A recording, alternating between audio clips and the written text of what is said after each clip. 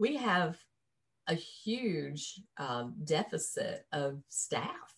Mm-hmm. And um, mm-hmm. that just ran a numbers crunch, I guess, for Bash Hallow and said 35% of people that are in the profession now, the veterinarians and technicians, are thinking about quitting in the next five years. So if you, no matter how big you are, how much money yeah. you do at it, if there are not human beings to be in the profession, then we are going to really have a big struggle. And it's not too far down the road. We we need to graduate more veterinarians. We need to be more diverse in our pool of veterinarians uh, and candidates, and we need to quit eating our young because that's yes. one of the bad parts of yes. profession is that we are. And we need to look at technology and efficiency. Absolutely, because we're going to have leverage. Yeah.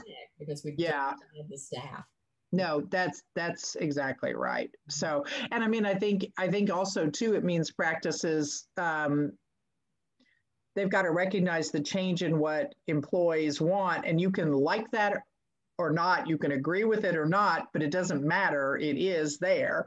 And if you want to find people you've got to recognize the need for mentoring, the need for work life balance, you're going to have to pay them what they can get elsewhere, even if you think that's a ludicrous amount of money. You know, it just, um, yeah, it's, it's, it's, and I mean, I, I think, I think certainly the amounts of money that corporate are offering is part of what's driving the sales to corporate but i think some of it is people are like i'm just tired of dealing with this you know and corporate can't solve all your management problems but i mean they are well equipped you know they've got great recruitment um, um, departments and people. You know, they've got hiring people. I mean, they t- they can take a lot of that off your shoulder. Yeah. Yeah. Yeah. Well, and, and I was having a talk with a young veterinarian today about insurance and for the business that she's going to work for. And I said, the problem is this is a 15 person entity and trying to find a group insurance that is in any way, shape, or form reasonable for 15 people is almost next to impossible. It's really hard. Yeah. The corporates do have that buying power of the large group to make, you know, their their benefit packages. That's right. But you know, money isn't everything, and working in a practice that you actually enjoy walking into every day means a great deal to people, um, as long as they can make a living wage. And hello, my name is Debbie Boone, and I want to welcome you to my podcast, The Bend, where we explore how successful people navigated the path and emerged in a better place when life threw them an unexpected twist. It's inspired by one of my favorite sayings The bend in the road is not the end of the road unless you fail to make the curve. These conversations will hopefully help you and inspire you to embrace your personal bend and to flourish. I hope you enjoy it. And if you need help with your own personal navigation and you're in veterinary medicine, please feel free to reach out to me at Debbie Boone to Manage Vets Consulting. Enjoy the bend and be inspired by our wonderful guest. Welcome.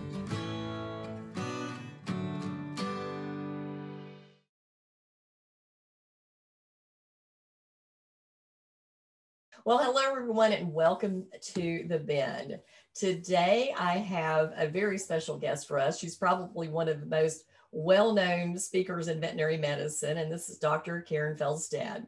Uh, Karen and I serve on the board of directors for Vet Partners together, and we have for several years, and we've been members together. So I'm really excited to uh, kind of twist her arm and break a little of her busy schedule off so that she can come and visit with us today. She is uh, a veterinarian and a CPA, and she has spent the last 20 years working as a financial and operational consultant to veterinary practices and the animal health industry. She is active in multiple veterinary organizations. She has written an extensive number of articles for a wide range of publications and speaks regularly at national and international veterinary meetings. In 2011 and 2017, she was awarded the Western Veterinary Conference Practice Management Continuing Education of the Educator of the Year and in 2014, the Vet Partners Distinguished Life Member Award. So, Karen, thank you very much for taking time and squeezing me in. I know our schedules are both a little nuts, and uh, I think uh, 2020 might have made them worse than they had been.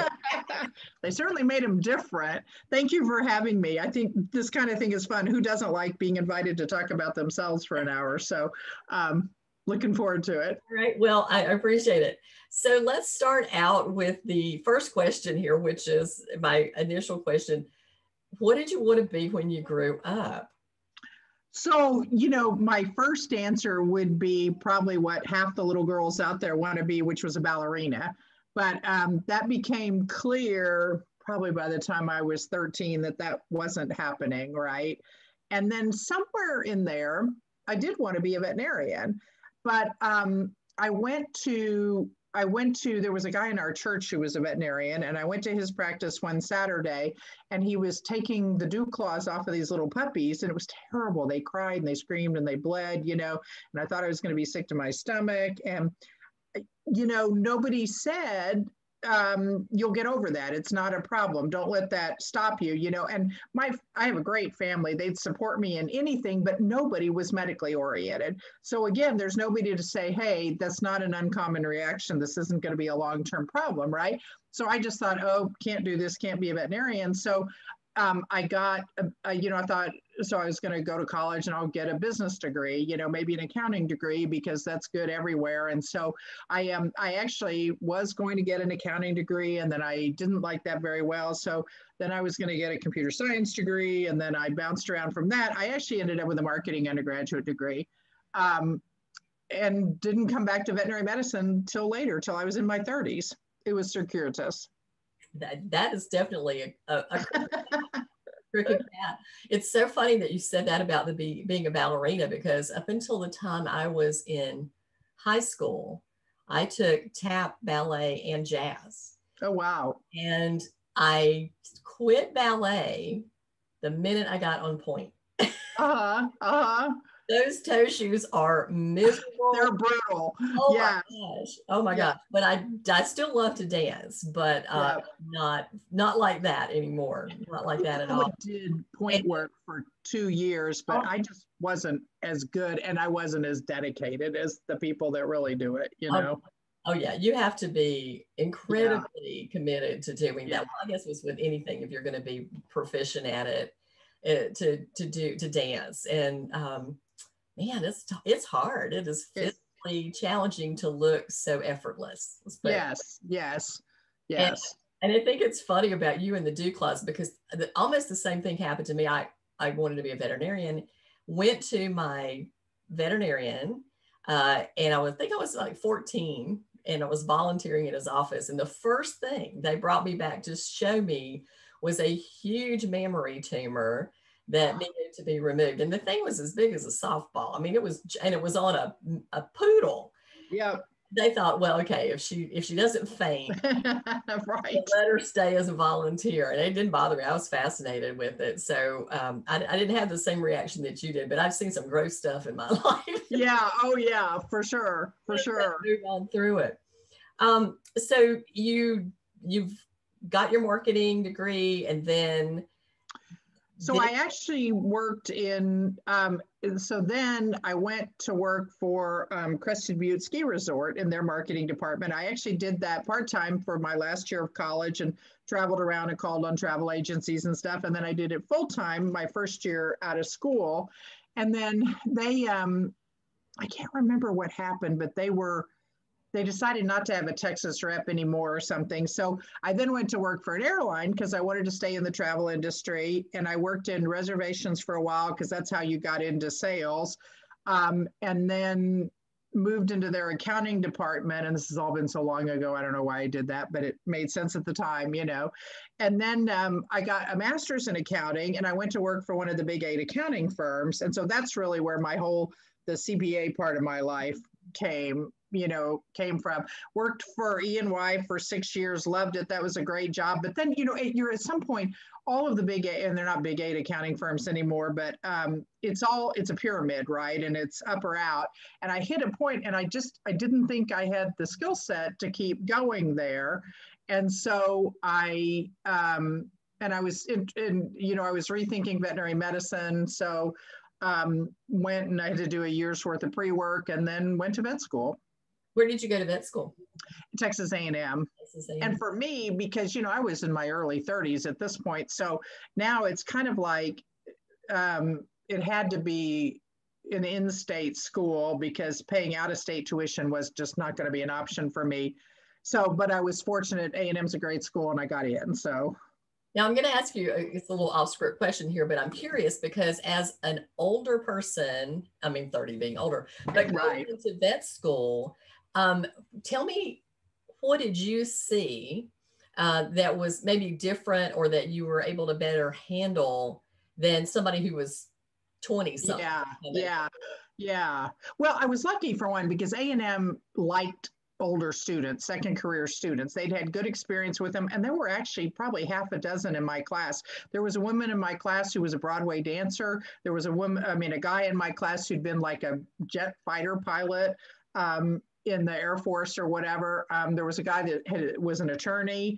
So a bunch of people that were doing this as a as a second career, and um, I think A and M probably liked us as students because you know we are probably calmer we're more dedicated we work harder just because you know when you go back to school in your 30s it's like i can't screw around i can't screw this up you know what i mean i've got to i've got to it's a major commitment and it's a financial commitment and and i've just given up a great job as an accountant so um you know and so i probably didn't get all of the um you know, like A and M has all these Aggie traditions and fun things people do and that kind of stuff. And I, I'm sure I didn't socialize as much as most of the class and everything. And I was working at a veterinary practice um, during part of that as well. So I was highly focused on school.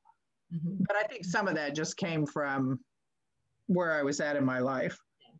Yeah, I've, I've got to ask so switching from a very stable job as an accountant to going back to vet school, what was the scariest part of that for you?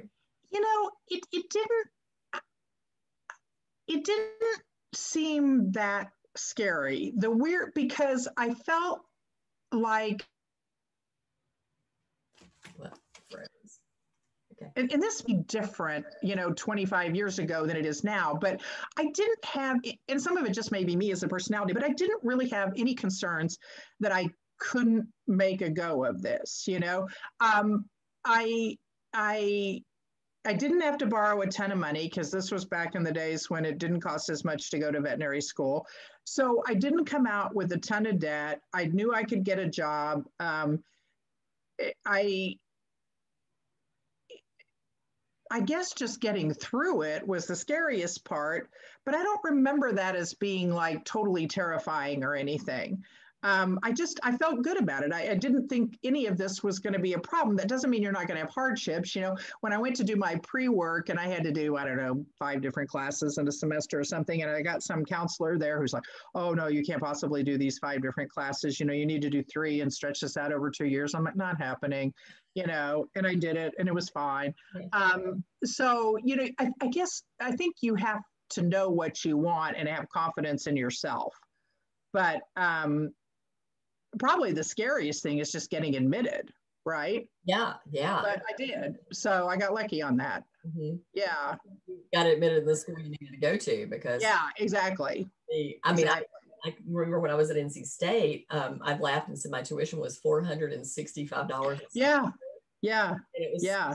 I mean, of course, $400 back then was, you know, the equivalent of several thousand now, but right. right. it was so doable as an in-state student and um, yeah such a challenge now with the the veterans and the school yeah. the lack of funding and then that debt yeah. we, we talk a lot about that in our, yeah. our world a lot i um, think the academics scared me a little bit at the beginning and and actually probably all through school and that's part of the reason i spent a lot of time studying because mm-hmm. it just you know it, it, you just can't fail that's not an option, you know. that's right. That's exactly right. Um, so did you uh, then get out of school and, and work in practices for a while? I did. So I worked in small animal and emergency practice for about three years. And then um, I I I actually, and I was doing some consulting work on the side, some and and some practice accounting work and that kind of stuff. And I was trying to, I hit a point where it's like you need to do one or the other because it's too hard keeping up with the expertise of both. But I couldn't decide what to do. And then I fell and broke my arm ice skating, and I broke my right arm. I'm right-handed, and I don't know, that just sort of seemed to make the decision because it was going to be too hard to keep practicing at the time. And so I went the business route and I really liked the business side of it. I was good at it, you know, because of all my business and CPA background and that kind of stuff. And there was a need for it. So um, I, I haven't practiced since then, but I think the fact that I've been in practice, it, it makes people comfortable because I am a veterinarian. I do know what it's like. And, you know, you don't need to be a veterinarian for a lot of the business, excuse me, the business consulting work. Um, because you know HR is HR, whether it's a hardware store or a veterinary practice. I mean, some of the nuances can be different, but but still, there's a comfort level. I'm a part of the club, you know, and that's that's been helpful. So yeah, yeah. I agree with that because you can just it's a lived experience. Yeah. And when those people come to you and they go, oh, but my client's doing A, B, and C, and you go, oh, totally, I've been there. You get it. Yeah, exactly and whether that's that's being a veterinarian or having just worked in a practice for a mm-hmm. long time i mean because that's your background right? Oh, and yeah. it gives you the same experience. Yeah. Yeah. in the practice. Yeah. So you um were doing consulting but you went to work with a consulting group right for a while? i did. Um, and and that was part of what gave me the confidence to to make that decision to go fully into the consulting because I started doing some work for Brakke Consulting and um, they had um, that ended up being a great opportunity. And there just was um, and actually i take it back i think i'm mixing up my my um, time frame here a little bit. I actually went to work for um, owen mccafferty sorry i got this has been a while you know? But um, i met um, I was kind of casting around trying to meet people in the management world and that kind of stuff. And um, I met Marsha Heinke, who was um, Owen's partner at the time, and um, at a meeting. And she's like, Oh, you need to introduce yourself to Owen.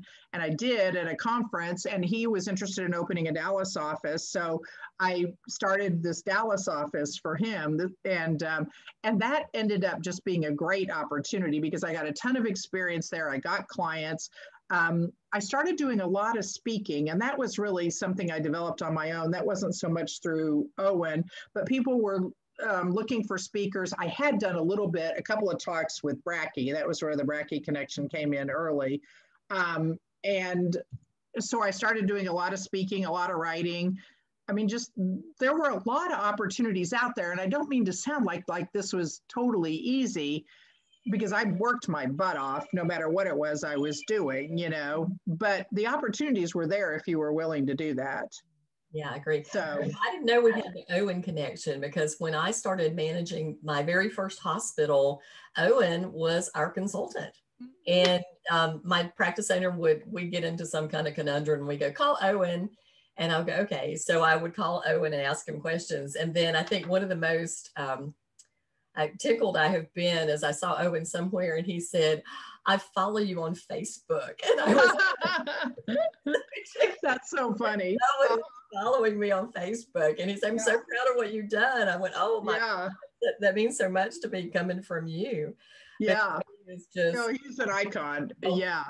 He, he absolutely is. And you know, um, I mean, I think we, you know, I don't know about you, but I certainly fangirl over people. And I know that that when I first met you, I was like, oh, dead, you know. Um, and now we're friends, but you know, it was that first meeting was like, this is somebody I've read my whole well no and i i felt that like about um, um, uh, cynthia wutchiett and certainly about owen and marsha you know? And i can remember mark opperman coming and speaking at my vet school you know? And i was like oh my god you know? And then you get to meet him and this kind of stuff. No it is so funny. Yeah yeah. It is funny. And then people you know, oh, I follow you and I read your stuff. And I'm like, really? I, how do you even know who I am? I mean, I still kind of feel like that, um, Yeah. You know, that that I, I don't even know how that happens sometimes. Yeah, yeah, yeah. No, no. I know go, wow, how did I even get here from where I was? But yeah. Um, so obviously there's always bumps in the road, and you then decided to go out and and be Panthera tea. Uh, yes, I did, and I um I did I did work with Brakke and everybody consultants with Brakke were independent contractors. So I did some work on my own. I did some work through Brakke. Um, and then um, I spent a few years with Gatto McFerson and then I got offered the job at the National Commission on Veterinary Economic Issues, which was just an amazing opportunity. So I lived in Chicago for three years and I was not doing practice consulting at the time, but I was doing NCVEI stuff. And then NCVEI decided to merge into the AVMA, so my position went away. So then I came back into consulting. Um, and that's when I, I mean, my company's always been called Felsted Veterinary Consultants, but I rebranded it as Panthera T. So now for the last, what, probably 10 years, that's that's what I've been doing. Although I've done consulting on again, off again in various forms through most of this career post being a veterinarian, practicing as a veterinarian. Yeah. Um, tell me a little bit about starting a business. I mean, you, you're right. You had the knowledge, and you certainly had the acknowledgement from people around you, but still starting a business from scratch is a yeah. Well, it is. And I was fortunate that I didn't have that student debt situation. You know, I mean, I paid my debt off at like 350 bucks a month over 10 years. So, I mean, it was, you know, easy. Um, I was really lucky on the debt. And some of that is that it just costs less to go to vet school at the time. Some of it, I was definitely frugal, you know, during vet school. And like my last year in vet school, they had an opportunity where you could live in these apartments above the small animal clinic. And there were eight or nine of us, I forget, maybe eight. And we we would do the overnight call, but for both the large animal and the small animal department, and then you got to live rent free. So that definitely helped, you know. Um, but so I didn't have a ton of debt. I had like 30,000. And of course, you know, with the debt loads that we're talking about now, that just seems like minuscule, right? Um, and it was just easy enough to pay off. But um, the, the, I think I always, you know, when I, when I, when I started consulting. I did a little on my own, but then I was with Owen. So I was an employee there. When I left Owen, then I connected with Brakke. Um, and I just, I had a comfort level. I had enough clients, I guess, on my own, and I had a comfort level that they would have, um, they'd bring some work or point some work in my direction. Plus, I'd develop a certain amount of it on my own. Um, it just i always felt like i could pay my bills before i took the next step. You know not necessarily get rich over it but pay my bills right? And i think that gave me the confidence to take whatever the next step was. That's harder to do now with the debt situation depending on what your debt repayment program is. Certainly if you're on an income based repayment it's a little different. But I mean, I think that applies now. And I, I, I worked at the emergency clinic for a while while I was doing some of this. I mean, there was certainly part of the time that I was practicing, I was practicing half time and doing consulting half time.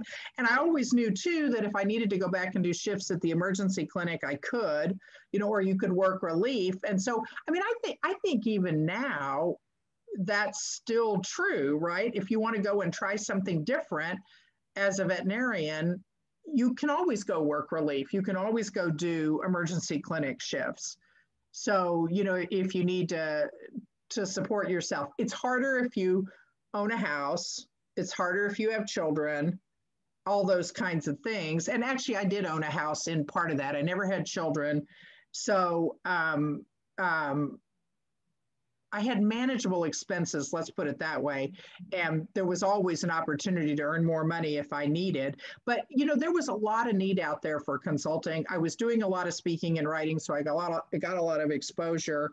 Um, there's a lot of need for financial consulting. And since that's my area of expertise, it just worked, you know. And then when I when I left NCVEI and it merged into AVMA, and came back into Panthera tea. I just I'd been doing it for so long. I was well established at that point I was just, I've been lucky. I've never, I've never had a time where I was seriously concerned about where the next, the next job was coming from.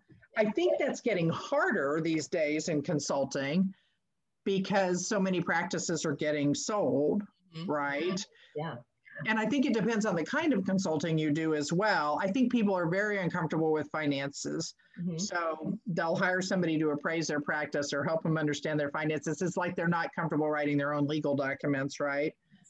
For general consulting, and you would know this better than I do, I think that can be harder, you know, because people go, oh, I can do my own marketing, I can do my own HR, but but they but they don't do it well. They, everybody can do it, but it's doing it right. Well. Is that right. your time appropriately and you know so that brings it back to kind of a financial thing is it's work smart not hard and do drive revenue rather than doing book work. And yeah. I've been in practices where the practice owner is writing payroll and paying bills. I'm like you know why are you doing that? That's maybe a 25 to 30 dollar an hour job and you're a 200 dollar an hour person. So yeah. to be doing right. and driving revenue into the practice and not doing management stuff.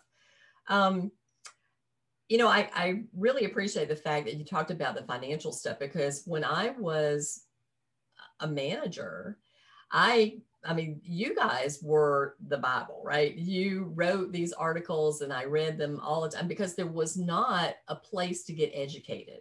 Yeah. Yeah. Practices. And so I know that I've been a member of the VHMA since forever. 90s. Yeah. Yeah. Sometimes yeah. they say, I think you might be our oldest member or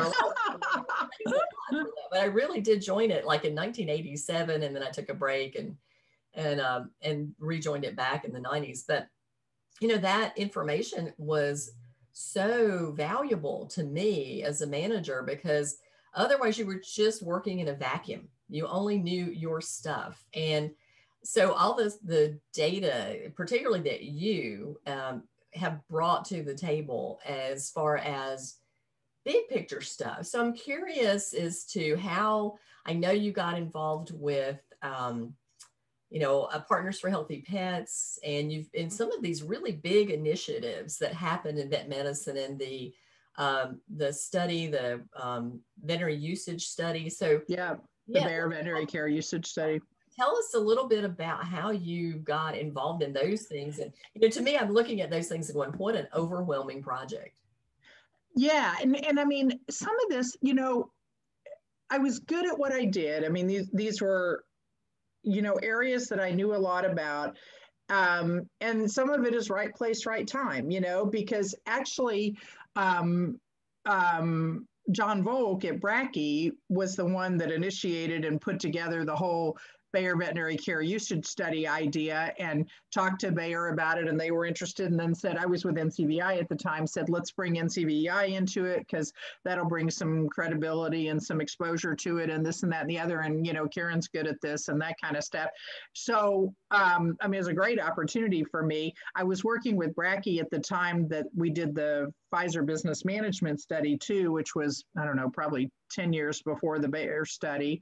Um, Partners for Healthy Pets was, I don't even know how I got involved with that. Um, somebody just reached out to me and said, "Hey, do you want to come do some stuff for us?" You know, and so Karen Gabser and I did some some joint speaking for that. You know, I think this is one of the hard things about being a consultant on your own because once you're reasonably well known, a lot of opportunities come your way. It's how do you get to that point? And you know, I feel like you know there wasn't any time where I was worried about whether I could you know, um, you know, have money to eat or anything like that. You know, it's not like being a dancer, like we were talking about, where you're starving to death, you know. Um, but I think I lived frugally, and that makes a lot of opportunities possible that aren't if you don't live frugally. Mm-hmm. and i also busted my butt you know? Mm-hmm. every time somebody called and said do you want to write an article? Do you want to be interviewed for this article? Do you want to speak at this conference? Even if, if it wasn't overly convenient for me or you know it's crashing into my so-called work-life balance early in my career i did that because that's kind of what you have to do to build you know, to build a brand, I guess, if you will. Um, and and then some of that stuff just comes to you because you're you're there. They know how to find you. They know what you're talking about. You're easy to work with. You say yes to things. Um, I'm reasonable on what I charge. You know, I'm not the cheapest consultant out there, but I know I'm not the most expensive either. Um, so affordable. Um, and I struggle with what that's supposed to look like, just like veterinarians. we all. we all do, you know.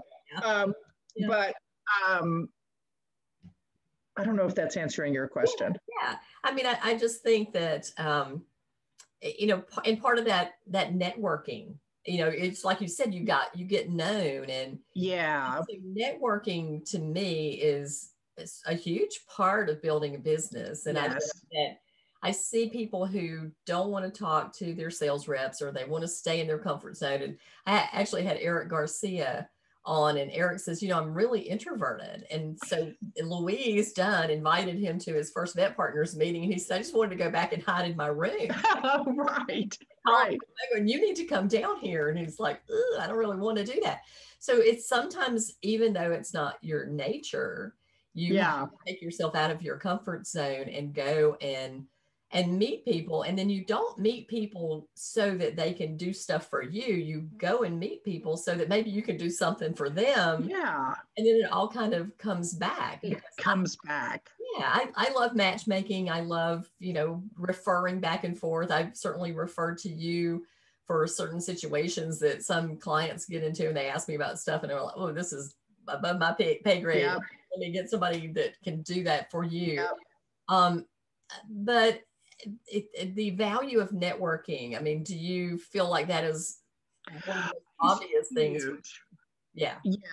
And I'm I'm I'm half of my personality is just like Eric, you know, and it's like at the end of the day or after I'm finished speaking, I'm like done, you know, going to sit in my room and order room service and not talk to anybody.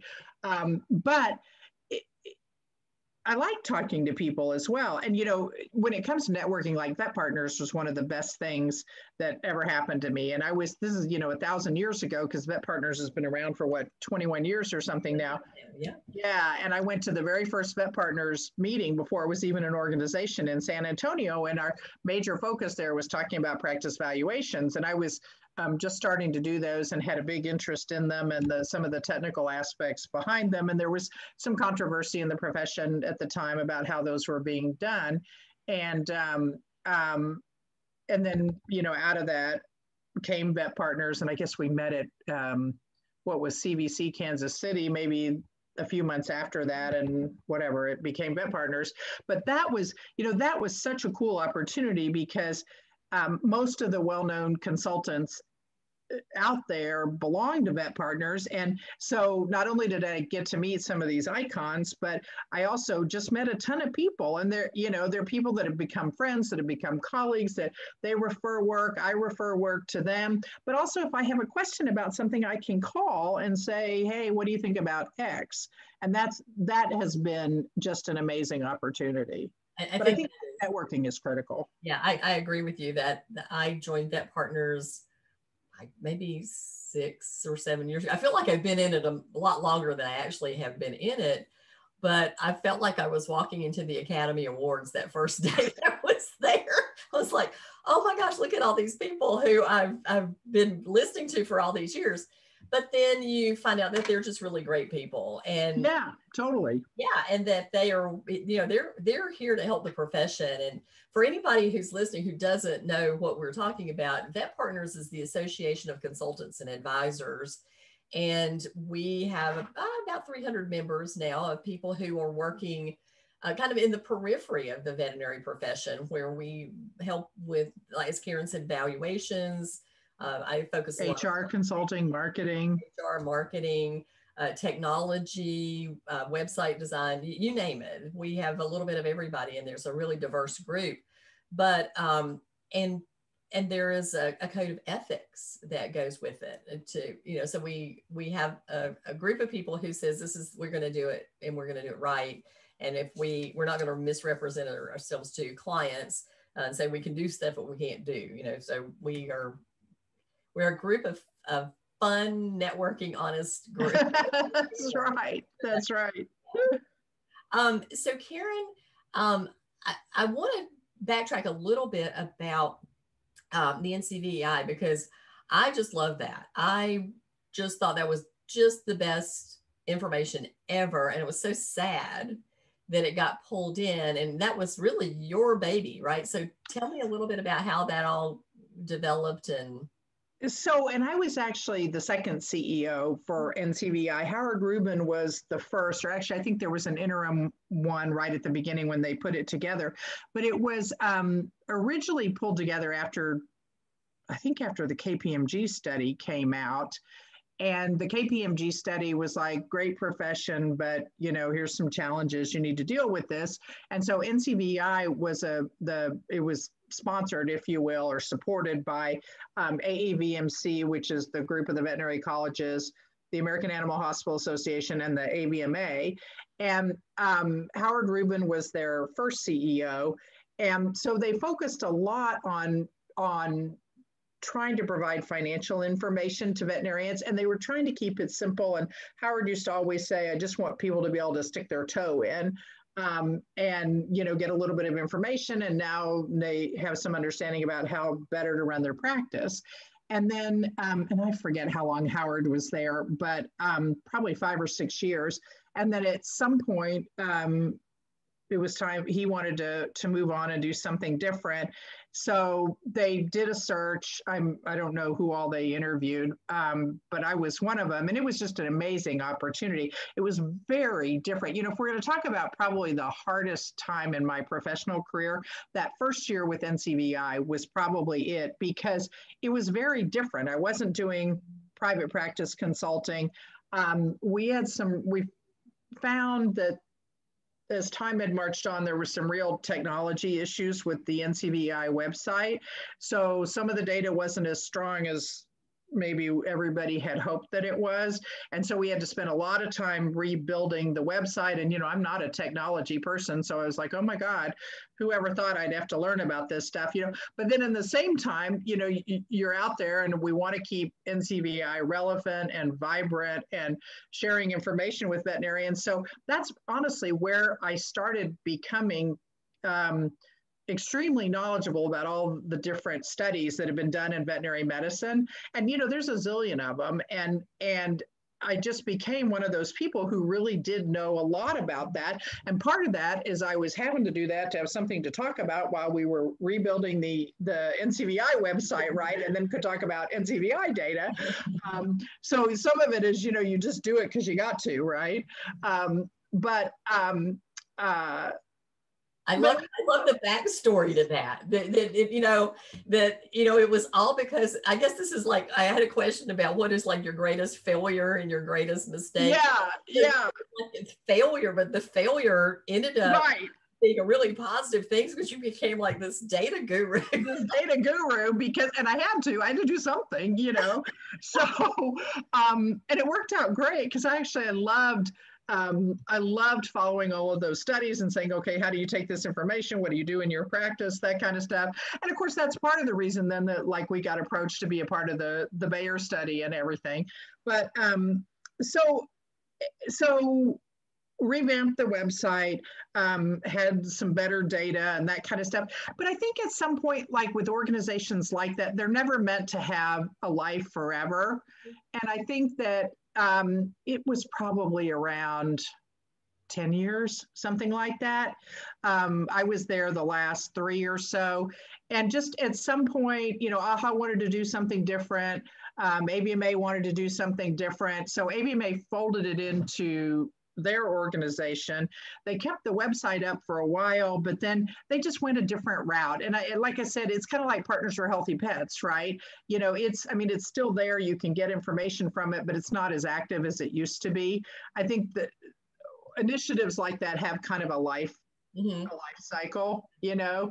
And so I loved it. It was a great opportunity for me. I learned a ton from it. Um, I got great exposure and that kind of stuff. Um, but not a total surprise that it it wasn't going to last forever. Well, you know, that I look at that um, data gathering, and it was it was a difficult data gathering, right? Because it was you know it was old school, and it wasn't just so yeah. like we should just like. Yeah.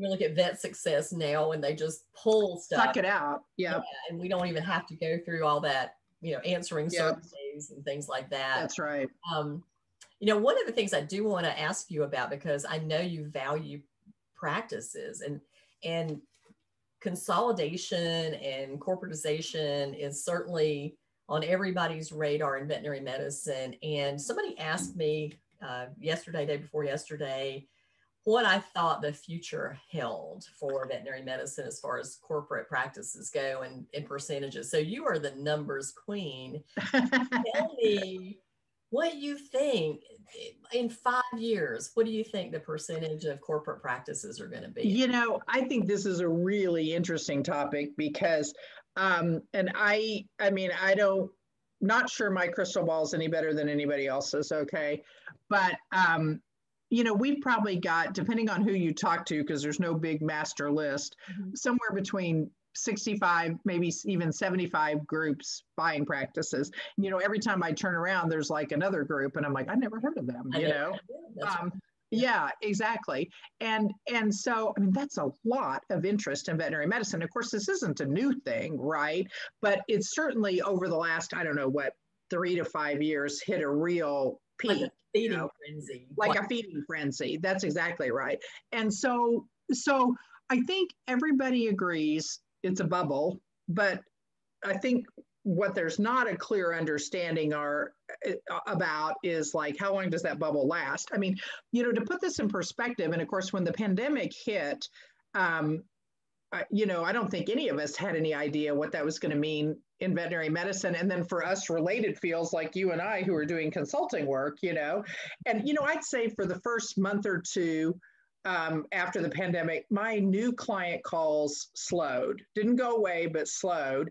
And then it picked back up, right? I am busier than I've ever been in my career. But what's interesting about that is that I probably used to do 50% transition work. So buying, selling, startup, practice startups. I'm probably doing 90% of that now.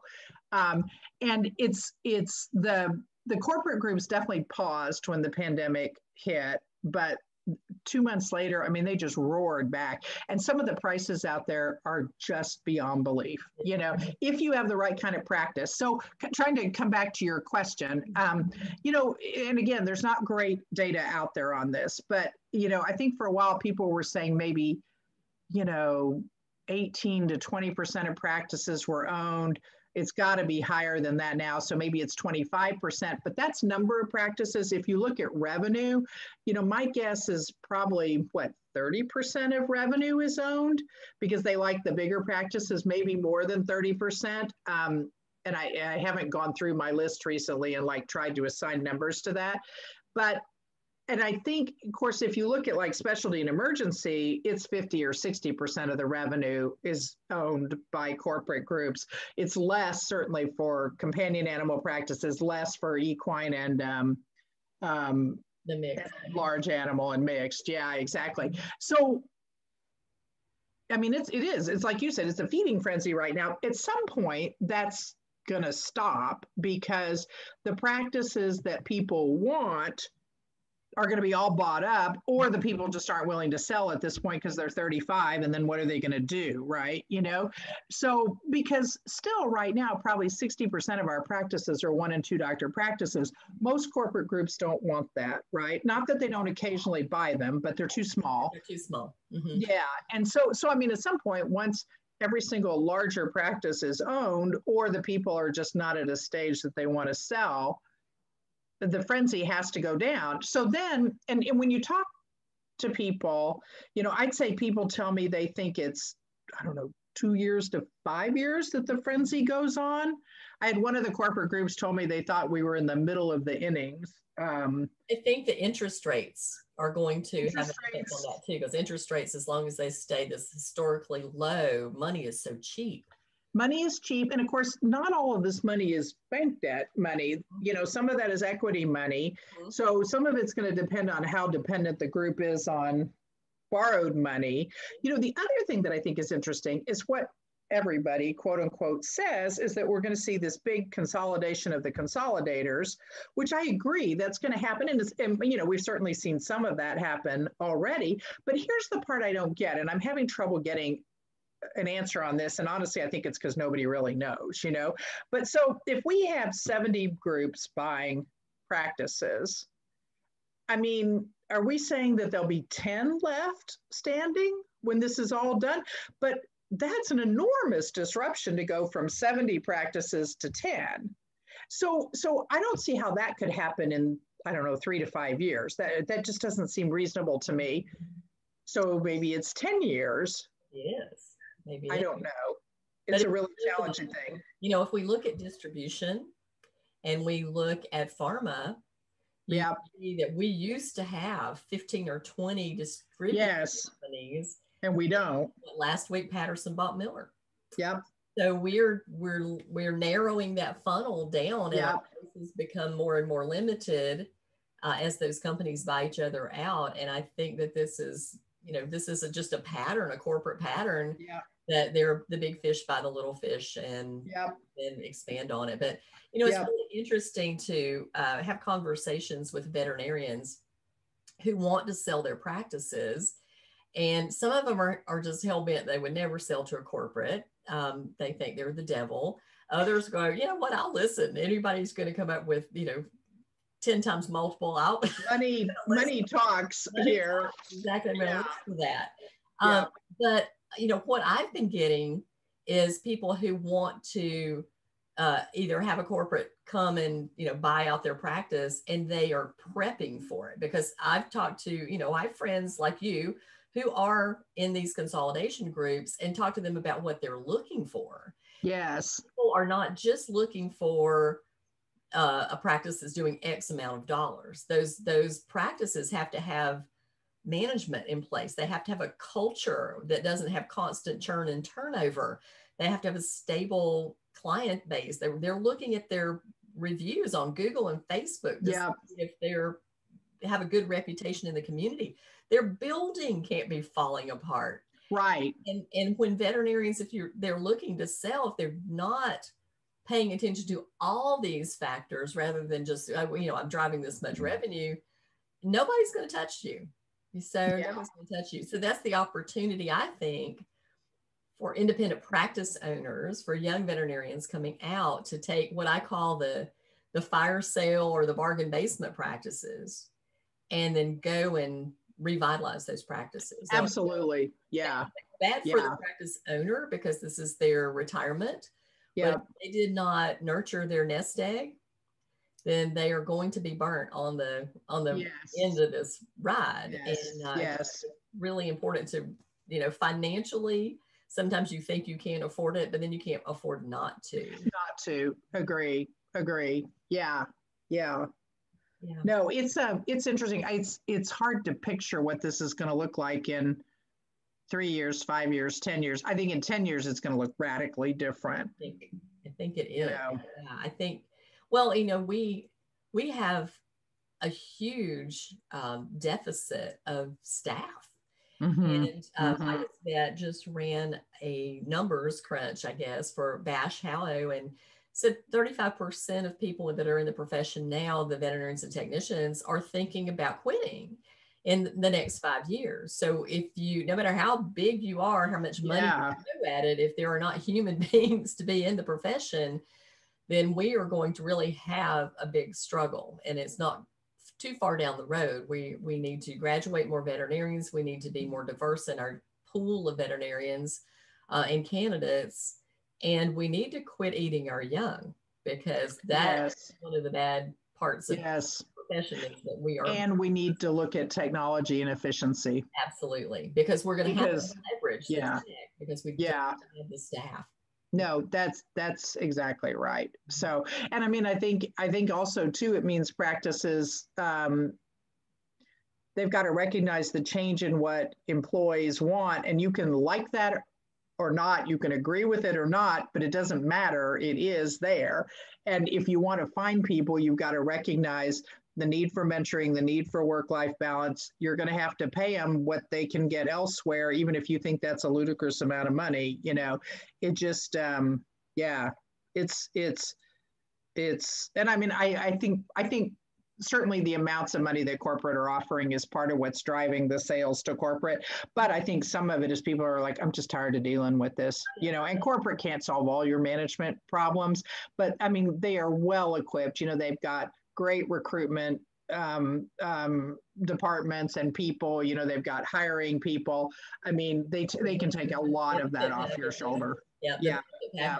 Well, and, and I was having a talk with a young veterinarian today about insurance and for the business that she's going to work for. And I said, the problem is this is a 15 person entity and trying to find a group insurance. That is in any way, shape, or form reasonable for 15 people is almost next to impossible. It's really hard. Yeah. The corporates do have that buying power of the large group to make, you know, their their benefit packages. That's right.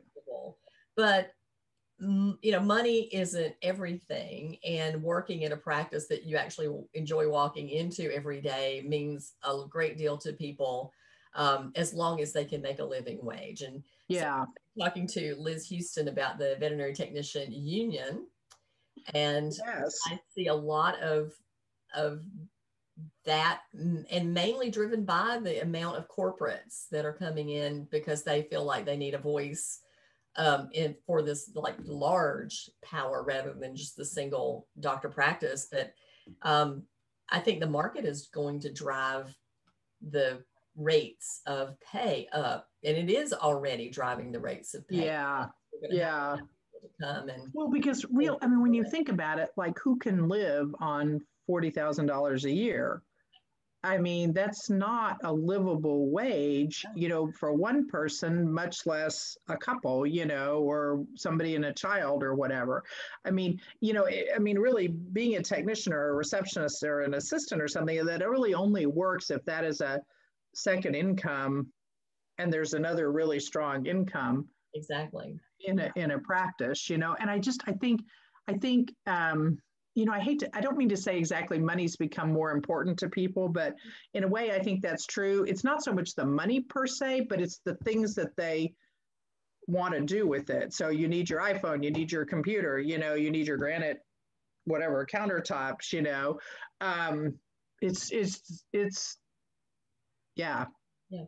Well, it, it is definitely um, knowledge is power. So if you have people over here going, hey, well, I'm making 25 or $30 an hour and then these other people are going well i'm getting paid 15 yeah exactly groups that are sharing this information together they're really kind of getting to see how they're getting burnt and and yeah. if one can pay then the other should be able to pay because the business is the business right and it just means and, and of course i'm certainly preaching to the choir when you are looking at people's books and you know how much stuff they give away or don't charge appropriately for or there's I just got through reading an article where a receptionist stole 147,000. Yeah, right, right, right. And and putting a system in place that makes yeah. it possible or on next to impossible to do uh, in practices. So there's so much room for capturing existing revenue and keeping what you've got so that you can pay your people, you know, what they deserve to be paid. Yeah.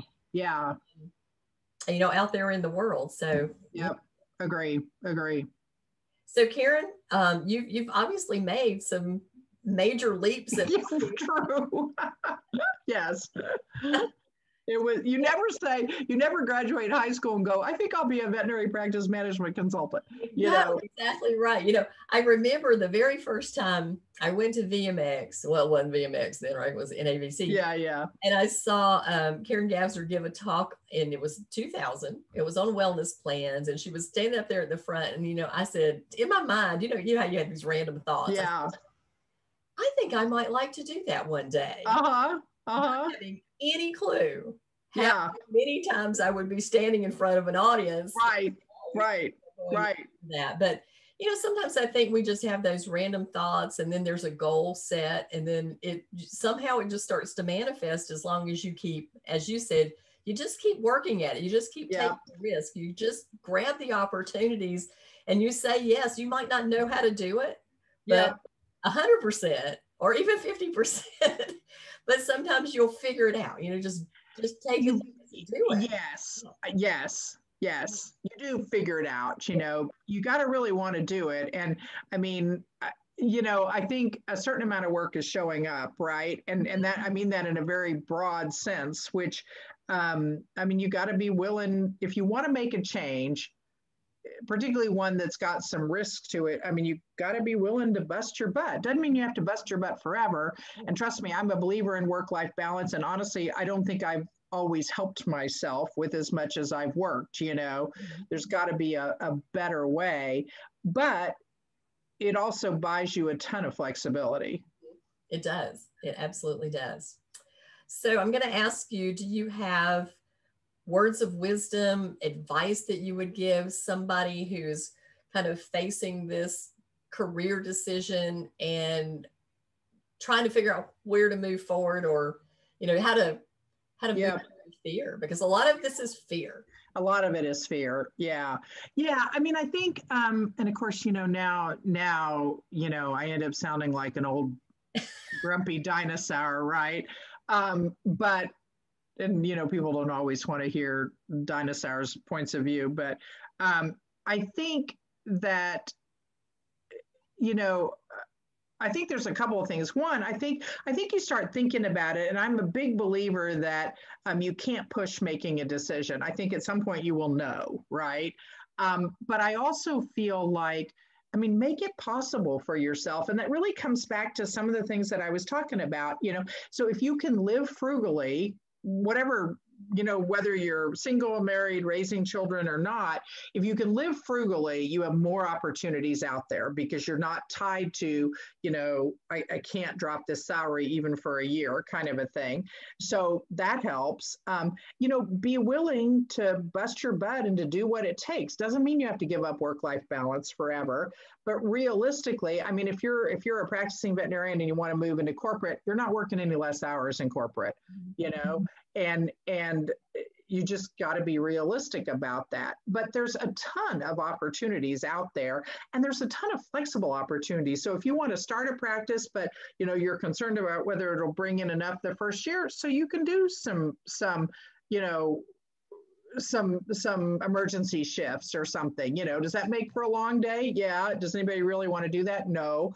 But does it make something possible that might not otherwise be possible um, and I think it's saying yes to a ton of opportunities too. And so if uh, you know, like I come back to, you know, I did a ton of speaking and writing where I did not get paid in the early days, you know, and and it's, you know, would I be less willing to do that now?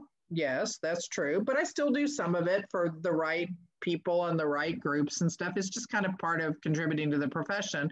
But I mean, I think it's being willing to do some of those things. I think it's focusing on what can I do for you rather than what you can do for me. Mm-hmm. It, and and you have um, you can focus more on what you can do for me the more established and the farther on you are. Yes. Yeah. But in the early days. Yeah, in the early days is you got to grind it.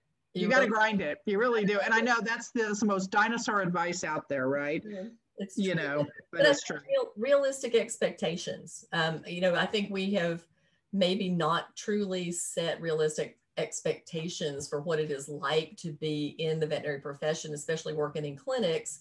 And that when people get in there and they realize how challenging working with other people is, working mm-hmm. with the public is, you know, I've been working with the public since I was 10 years old and I grew mm-hmm. up in a restaurant. So I was always there and and the public never changes and people think oh the public has gotten more difficult. Well yeah during covid they did. They got they did. they got bitchier but yeah. there are always examples of that in, yeah. in, in any business. So that i always laugh and say that hangry thing you know yeah.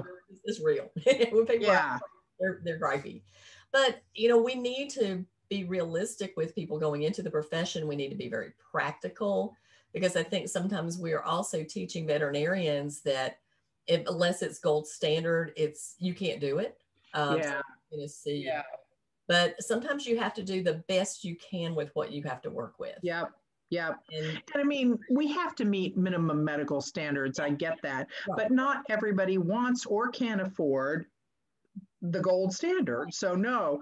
And you know, I think you mentioned the pandemic and I think this is really important. I think when you're thinking about, you know, I'm hating life, I'm hating what I'm doing now. I do think you excuse me, have to sort out is that because the last year is completely sucked or is that I really don't like this and it's time to move on? Or is it, okay, I like practicing clinical medicine, but I don't like this clinic. And is there a better opportunity? Mm-hmm. Um, you know, I don't, I don't, I don't remotely see how this kind of growth and this kind of demand can continue.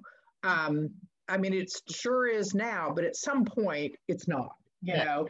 And so, so things are going to slow down. I don't think people are going to lose their revenue, but they're going to slow down. We're not going to see this, this, massive growth and that kind of stuff.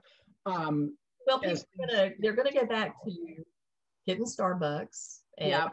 Shopping for clothes and paying for gas and going out to lunch and all and the schools will open so people don't have to stay home with their kids yeah. And all the disposable income that yeah exactly house. And they said, Oh yeah, let's do it for the dog. Because every clinic I've spoken with, people have come in when they could get in and everything that we've offered, they said, Yes, let's yeah. Yeah. Yeah. Another thing that is really kind of kind of setting us on fire is because we have so much more work to do because people are saying yes to yeah our typical service yeah. offers, which they typically will procrastinate on. And so now it's all all yeses, and that makes it very difficult. And the workflows are yeah are harder with the curbside of the yeah. workflows that they yeah. had. So it makes things a little more difficult. It makes things challenging. So I think you have to when you're thinking about I'm hating life right now. Are you just hating today or the pandemic, or you know, did you feel this way before the pandemic hit? Mm-hmm. Um, and I think we've got to be realistic. There's no job you can go to that's going to pay you a zillion dollars and have no problems, and you're going to work, you know, 15 hours a week. Not happening. No, you know, not at all. Um, not at all. I mean, you can you can work 15 hours a week, but you're not going to make, you know, no, you're going to 40 hours a week worth of money. hungry. right. Yeah. Yeah. Exactly. Yeah. Unless exactly. you're like some kind of a tech genius that. Right. Exactly. Yeah, or you're Bill Gates or, you know, somebody with, with a brilliant mind. Yeah. Exactly. Yeah. So, yeah, you're right. I mean, I think that's a really good point because I've worked um, in retail as a manager. I've worked in like a wholesale jewelry company. I've worked in the restaurant business. Uh, my grandfather, my father were tobacco farmers. I've worked in the fields everything has something that's great and everything has something that sucks. Mm-hmm. You have to determine how what your attitude is toward that. And and look back, I always used to teach my team when you know you'd have death week, right? You're working yeah. in, in, the hospital and like everything that you've been working on for 20 years all dies. Yeah. Um, but I always said, look, it's really cycle of life because next week will be all puppies and kittens. Yes, yes. So is it really just today? Yeah. What you're seeing is that that couple of negative clients that came in that just chewed you up. But if you look over a year's period of time, how many people brought you food and flowers and, yeah. and praise and sent cards? So all those positives really should be first and foremost in your mind because 90% of our clients are great. Yeah, they are. Yeah. You know, even now in the pandemic, when we've got some really terrible ones, mm-hmm. 90% are great. No, and that's the thing. And I think it's, you know, it, it's like a lot of people are talking now about how you need to have a gratitude book or something. Mm-hmm. And I've actually kind of thought about that. I don't do that, but I've been kind of thinking about starting it. And I thought, like, what would I say? And then I thought, well, see, that's the problem right there. We tend to think about the negative things. And particularly like if you're a consultant, you're like, what, what things do I need to solve here? You know, and we don't automatically think of the good things and the 90% of the clients that are great. And so, yeah, a lot of it is attitude, which I, I think is sort of what you're saying, right? Yeah. yeah. kind of train your brain to look for either positive things or negative things. Mm-hmm. And whatever you tell it to look is what it's going to find. So, yep. that mindfulness and gratitude, uh, looking back at big picture, and even in when somebody's being difficult, being curious about why they're being difficult rather than automatically becoming embattled. Yeah. and, yeah. and, trying to have a war there that, that nobody ever wins, you know, nobody. Ever no, wins. no, exactly. Exactly. Well, and, you know, I was going to say too, in, in spite of, you know, like the dinosaur advice, which, you know, always ends up coming across as suck it up. Um, and I really don't mean it to be that way. Um, there are some practices out there doing amazing things. You know, like um, I was watching that um, AAHA's veterinary visionary thing last week or two weeks ago or whenever, and there was a woman there talking about how their practice put together a school. And essentially, it was a, I guess it's like a homeschooling environment, and they had, you know, ten of the children of the people that work in the practice are going to the school, and obviously people have to pay for this because you got to, you know, insurance and teachers and whatever. But what it did is it offered flexibility for the people who are um, working at the practice as far as hours, you know, and if the kids need to stay late because the mom has to stay late or whatever, it's all doable there. And there was another practice I knew. This was an equine, equine practice somewhere on the East Coast, and um, every everybody that worked there was female and had children and they totally structured that practice so people could have a home life and take care of their kids and still come in and be an equine practitioner. So there are some practices out there doing some incredibly innovative things you know and making it possible for there to be a whole different model out there. Most practices don't do that. Most practices operate the way they always have but it is possible you know possible. It is possible. I met a group of practice owners in Wilmington, North Carolina, and there were four, all female, and each one of them worked a day and a half a week. Mm-hmm. And they had, but they owned this practice and and they had employees, but because they were they went into it that way, and so this is the way we're going to set it up. And then they had lives and you know their kids and stuff. And then years ago, Brenda Tassava, when she was managing uh, practice, she actually had the practice bought a house behind their practice and set up a daycare. Yeah. Yeah. yeah. So these are these are absolutely things that are possible to do. Yep. And being creative and being flexible. Um, but we've got to think outside of our normal. We've yep. always done it this way. That's exactly right. I, I read this quote today. I, it's so pertinent. I'm going to read it out here. It's uh, uh, Albert Einstein said, Everyone is in the prison of his own ideas. So you are only in a prison if you allow yourself. To. If you if you don't stage the big breakout, right? Yeah, right. exactly. And so I, I mean, I think you know when we talk about people who are unhappy with what they're doing and want to move on and want to do something different. Number one, maybe few and far between, but you can find these opportunities. Mm-hmm. You're probably going to have to be flexible. You know, if you want to work at the equine practice in New Jersey or wherever it was located, um, you know, obviously you're going to have to live in New Jersey, right? So you got to say, okay, am I willing to move? You know, but why can't you do that? I mean, why can't you create a practice like that? People do, you know, and it may not be that you you can hit the ground running, opening it up with all of these new and different ideas, but some of them you can open up with, and there's no reason you can't then have the daycare, have the school, you know have a practice that works for um, for people who in the early years of, of raising their children so yeah it's very doable it is a doable thing yeah if you just you just a little creative that's all it takes yeah. is creativity yeah well karen I, you know i've taken, uh, I've taken up time we could you and we I talk forever. This has really been fun. This a long time, so our audience is probably going, "Wow, this is okay. We're done. Entertaining, or we're done." is there anything that you would like to you know say about yourself about your company? And of course we're going to post how to reach you um, a favorite book a favorite quote um, shout out to a person that got you on your way anything you want to um, you know I, think i've probably you know given all of my advice there. Um, yes reach out if you've got questions about anything that we've talked about here. If you're looking for financial consulting more than happy to to talk to people.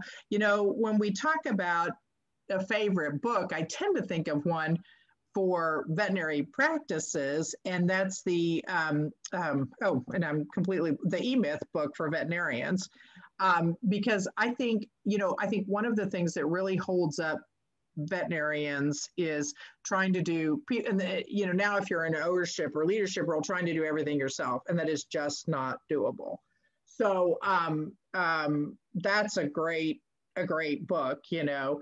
But I think too, um, and this is a book I actually haven't read yet, but I've been meaning to. It's called Boundaries, and I don't know the author, but I mean, I think part of it too. I think now you know eh, you know i know i say as a part of my advice you need to be you need to say yes to things and stuff but at some point there have to be boundaries as well and i think particularly and i'm going to make a broad generalization here on gender, but I think as women, we tend just to go, yes, yes, yes, yes. And and we kill ourselves trying to meet everybody else's expectations. So, you know, it's a balance there between um, saying yes to things that because they're going to help you achieve a long-term goal and saying yes to things just because people want you to do them, you know? So yeah. So, so, yeah, so say yes to the things you want to do, say yes to the things that excite you to do, uh, say no to the things that you look at and go, you just feel obligated. yeah, exactly. Do that. Exactly. Yeah. Exactly. Well, Karen, thank you very much for your- I enjoyed this. Thank you, Debbie. Yeah, this was fun.